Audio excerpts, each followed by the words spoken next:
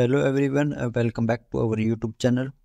In this video, we will guide you through the process of resolving issues with the Nike Training Club app not working.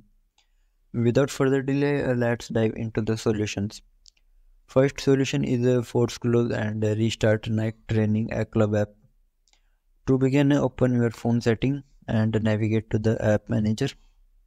After that, uh, select the Nike uh, Training Club app from the app list. And then I click on a force stopper from the bottom right corner. Confirm by clicking OK and then reopen the app. Second solution is disable and enable your internet connection. If the issue persists, try toggling your internet connection. If you are using a mobile data and then turn it off for uh, 5 to 10 seconds and then switch it back on.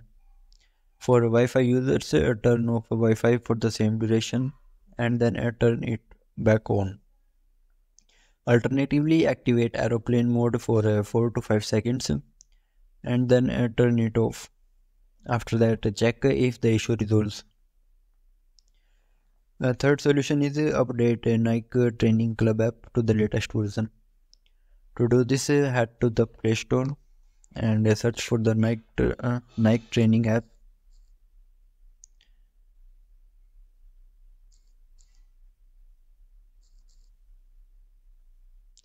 and then select the app if an update is available you will see an update button next to the app.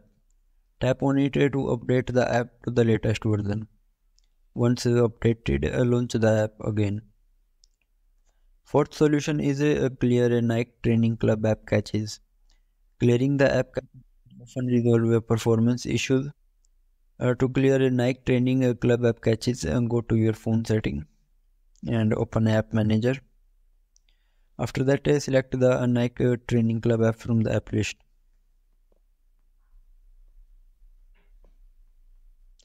And then I click on storage and caches. Finally, tap on clear caches to clear the app's caches. Fifth solution is uninstall and reinstall the Nike Training Club app. If the problem persists, uninstall the Nike Training Club app by going to Play Store, searching for the app and selecting uninstall. Once uninstalled, reinstall the app by clicking on the install button. If none of the above methods work, the issue may be Nike Training Club app server is down. In such cases, you may need to wait for some time and try again later. Thank you for watching our video and we hope this solution help resolve the Nike Training Club app issues for you.